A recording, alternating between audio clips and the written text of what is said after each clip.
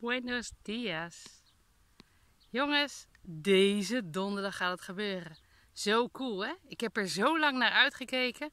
En deze donderdag gaan we nu eindelijk met onze Spaans in de praktijk rondreis door Extremadura starten. Hoe cool is dat, hè? Twee jaar geleden hoopte ik dat natuurlijk al. Is dat twee jaar geleden? Nee, dat kan niet, want zo lang ben ik nog niet eens bezig. Maar ik weet wel dat ik al heel gauw in het begin dacht: het zou zo cool zijn als zou er een groep mensen naar Extremadura komen. Hè? Want ik hou heel erg van Extremadura. Hele mooie omgeving, mooie natuur. Vandaag is het heerlijk lekker weer. En donderdag gaat het nu echt gebeuren. Gewoon, ik vind het zo cool, want mensen die je dan altijd online ziet, die ga je dan in het echt zien. En weet je, gezellig met elkaar eten en met elkaar genieten. En weet je wat het coole was? Op het moment dat ik dat publiceerde, hè, van wie gaat er mee met onze Spaans in de praktijk rondreis? Toen hadden sommige mensen, die hadden gelijk dat gevoel van, ja, dat moet ik doen. En weet je, als je zo'n gevoel krijgt, dan moet je dat ook gewoon doen. Want dan is het weer iets op je levenspad wat je verder gaat brengen. Maar weet je, en zo merk ik dus heel vaak hè, dat, dat je toch bepaalde soort mensen aantrekt.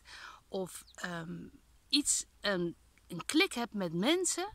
Ook als je ze nog helemaal niet kent. Maar ze hebben zoiets van, ja, dat moet ik doen.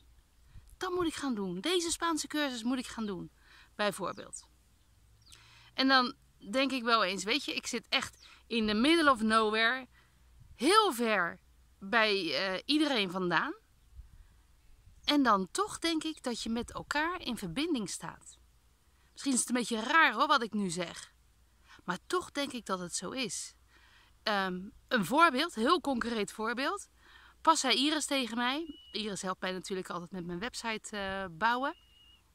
Toen zei zij: Je moet even deze naam onthouden, want daar heb ik iets in aangepast. Hè? Iets met de administratie.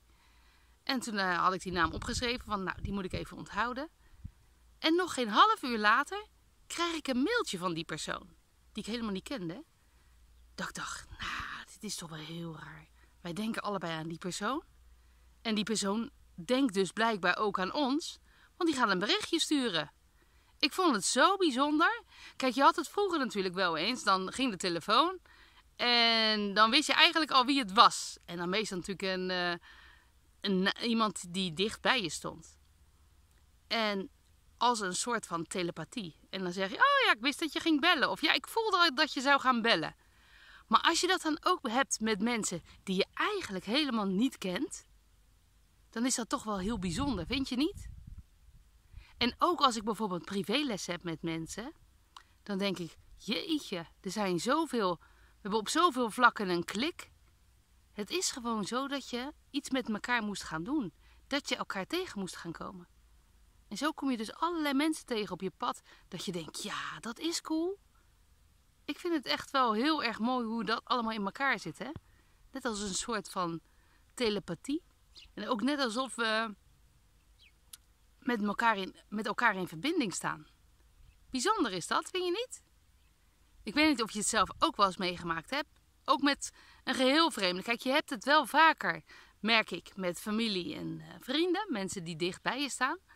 Maar als je, het ook hebt met mensen die je niet kent, of dat mensen een, een, video van jou zien, of mensen die bijvoorbeeld meedoen met mijn Spaanse lessen, dat ze dan zoiets hebben: ja, dat moet ik doen, dat is cool.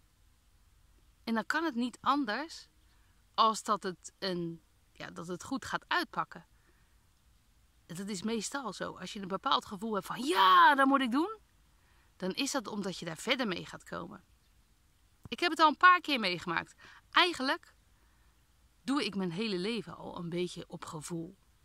Heel vaak als ik denk, ja, dat moet ik gaan doen. Hoppakee, ik heb het dan niet in uh, wat ik in mijn kop, hoe zeg je dat? Wat ik in mijn kop heb, heb ik niet in mijn kont. Zoiets. Ik doe het gelijk. Ik denk er ook niet eens over na. Ik doe het gewoon gelijk.